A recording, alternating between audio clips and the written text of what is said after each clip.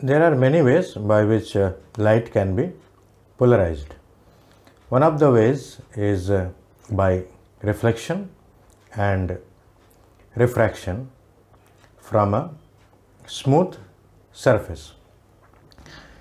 Now, an ordinary or unpolarized light gets reflected from a smooth surface like uh, glass plate or water.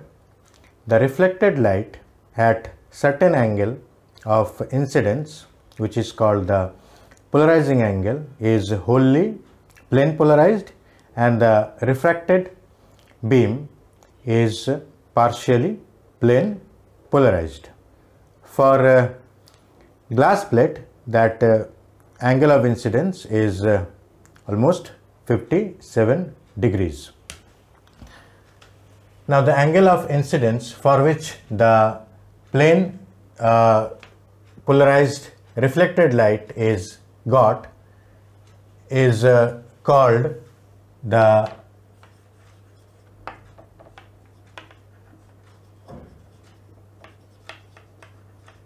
polarizing angle and is generally denoted by IP. For glass, this IP is equal to 57 degree. Now, uh, this angle uh, depends on the nature of the surface and the wavelength. Now, Brewster, was a scientist, he discovered that for this polarizing angle at which the reflected ray is wholly plane polarized, there is a, a relation between the reflected ray and the refracted ray. What he discovered is that the angle between the reflected ray and the reflect, refracted ray is 90 degree. Here is a this is a glass plate and this is the unpolarized beam of light which falls on this glass plate. Now partially it gets reflected OB is the reflected beam and partially it gets refracted OC is the refracted beam or the transmitted beam. Now for this polarizing angle at which OB is wholly plane polarized, the angle between OB that is the reflected beam and OC that is the refracted or the transmitted beam is 90 degree. That is angle BOC is 90 degree. And he also gave a simple relationship between the polarizing angle and the refractive index of the material with respect to the medium. He said that mu which is the refractive index of the material with respect to the medium is equal to tan of IP that is tan of the polarizing angle of incidence. Now before we can uh, simply show it but before going into that the particular angle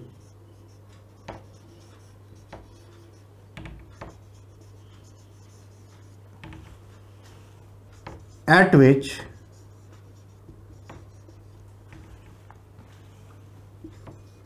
the reflected light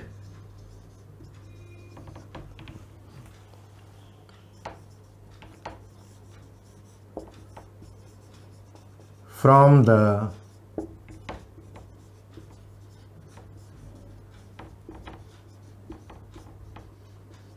smooth surface gets wholly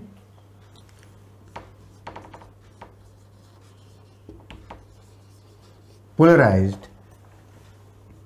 Is called.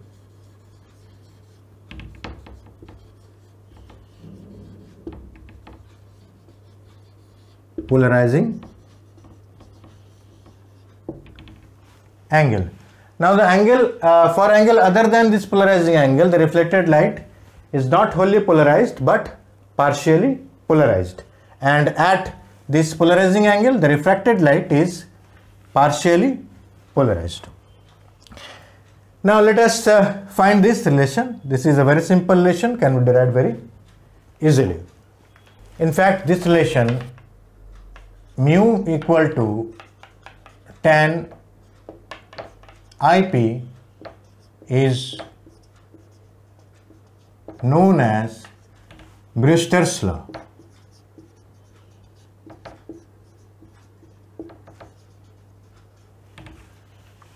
Let us derive it. Now from Snell's law,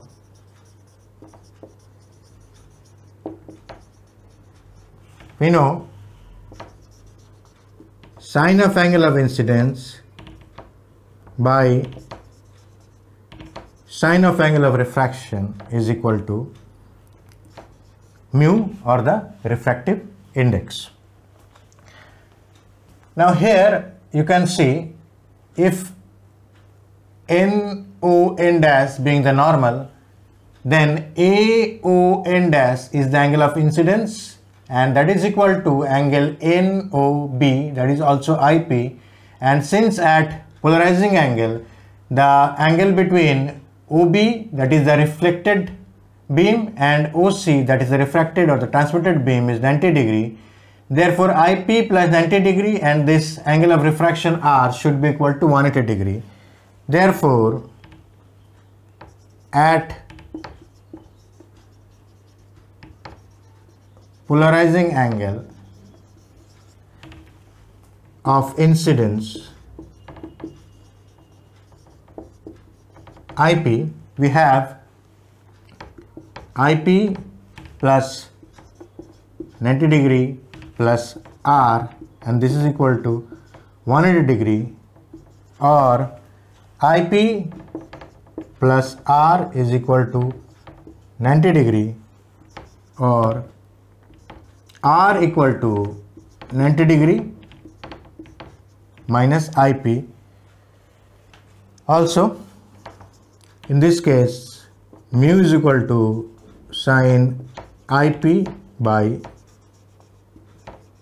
sine r and putting the value of r from here in this equation mu equal to sine ip by sine 90 degree minus ip. And this is equal to sine ip by cos ip and this is equal to tan ip therefore we get mu or the refractive index of the material with respect to medium. Uh, here we can uh, say that the material is uh, glass and if this is air then the medium is air. Mu equal to tan IP and this is called the or known as Brewster's law.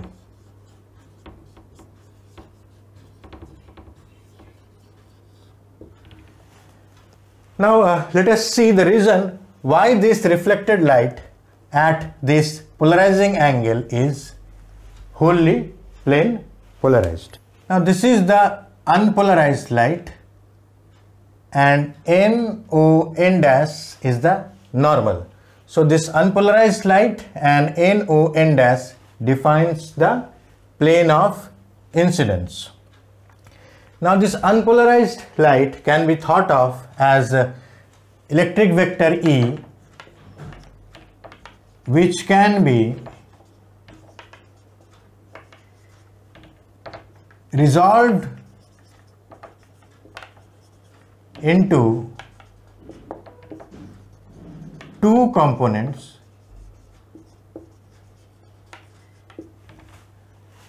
one component which is in the plane of incidence and the other component which is perpendicular to the plane of incidence.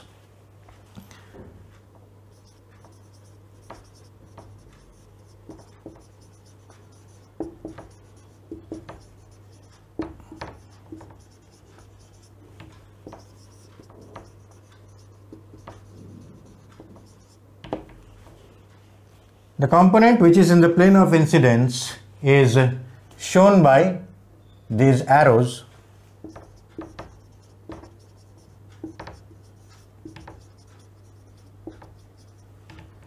and is known as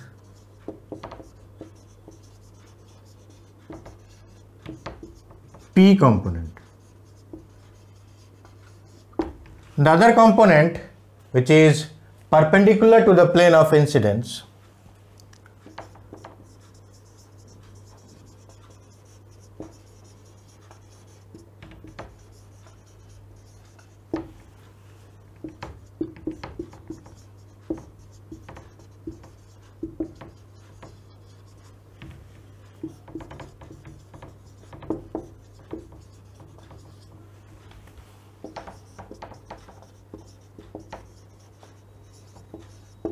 is shown by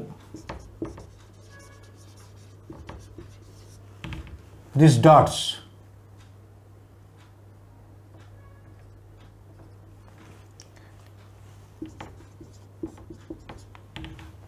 and known as S component.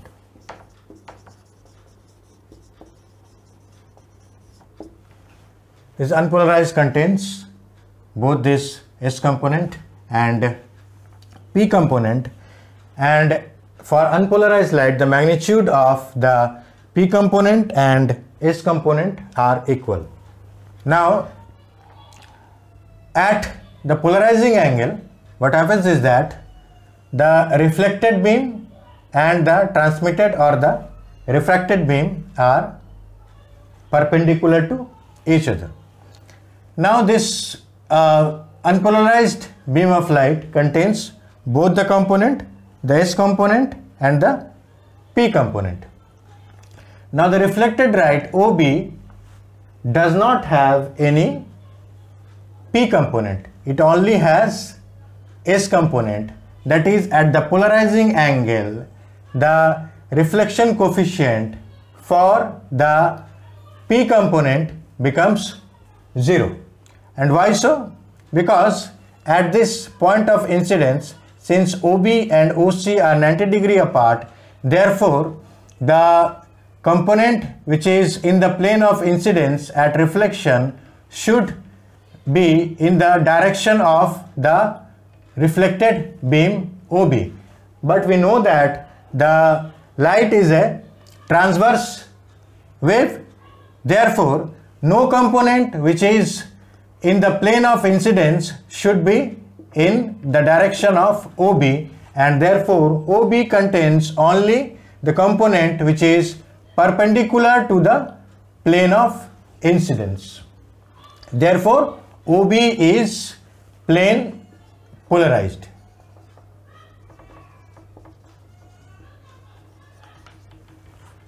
Now the component which is perpendicular to the plane of incidence gets uh, reflected. This reflected light only contains those components and it also gets refracted. Therefore the refracted beam contains both the components the S component which is perpendicular to the plane of incidence as well as the P component which is in the plane of incidence. Therefore this refracted or the transmitted wave is partially polarized.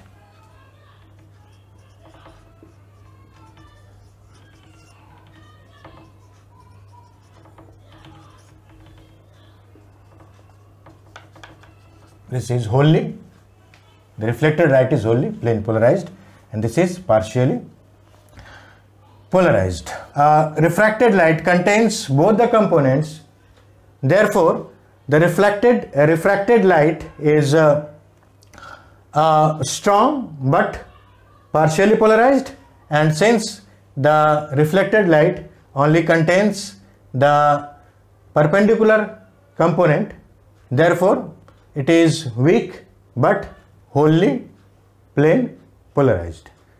Now we shall see the polarization by refraction. You already know that when ordinary or the unpolarized light is incident at Brewster's angle, on a smooth surface then the reflected light gets wholly plane polarized and the refracted or the transmitted light is partially plane polarized. Now here uh, there is a arrangement where the glass plates are kept like this one after another that is stacked together. And this is known as pile of plate. Now this is the unpolarized light which is incident at the Brewster's angle or the polarizing angle. And these are the reflected light beam which are wholly plane polarized and after successive reflections and transmissions from these plates this is the final transmitted light which is also almost plane polarized. Now uh, what happens is that in one uh, reflection from this glass plate the S component is filtered out partially and uh, some of the S component is there in the transmitted light in one reflection. Now when there are successive reflections from this glass surface what happens is that the S component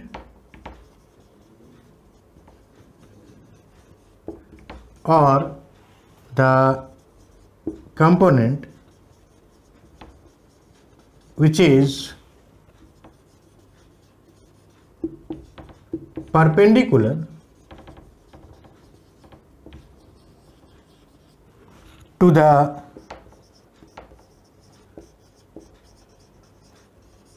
plane of incidence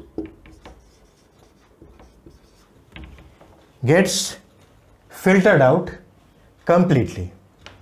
For this complete filtration of this S component from this stack of plates, it requires almost 15 such plates.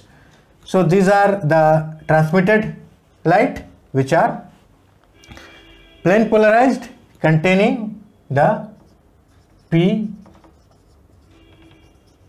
component only which means at each reflection some of the S component or the component which is perpendicular to the plane of incidence gets filtered out and the component which is parallel or in the plane of incidence gets transmitted.